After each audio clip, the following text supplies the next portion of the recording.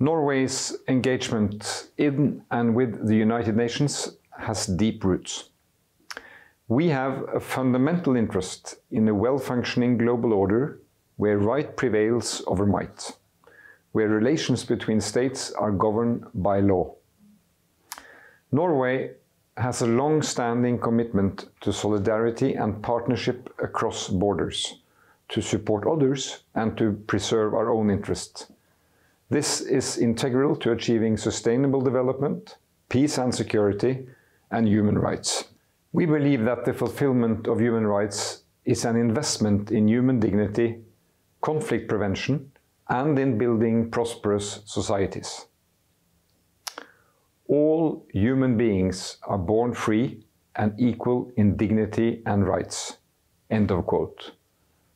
This is the read of the fundamental tenet upon which the Universal Declaration of Human Rights was established. And thinking about it, we have achieved much progress over the past 75 years. We have stood up for human rights and democracy. Together with members of civil society, we have advanced this agenda.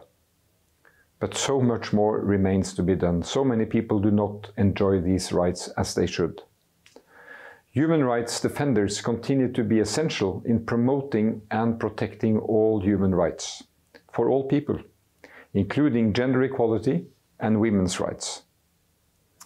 So this year also marks the 25th anniversary of the UN Declaration for Human Rights Defenders. Such an important statement. We reaffirm our commitment to its aims.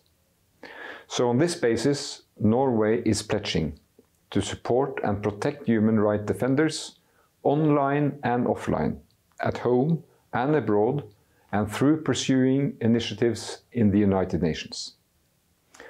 Norway will promote policies and public statements demonstrating the positive and legitimate role of human rights defenders in their promotion of human rights, gender equality, democracy, the rule of law, peace and security, and sustainable development and Norway will encourage and support national level monitoring efforts to further the implementation of the UN Declaration on Human Rights, on its defenders and its underlying rights.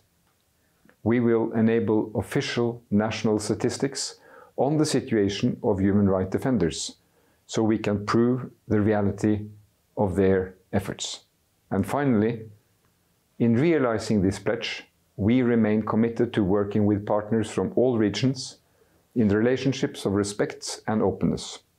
We will listen to the views of all sides and seek common solutions and consensus. And we will raise with countries and groups that do not respect these rights our concern and our dedication to support brave people who stand up for rights for all.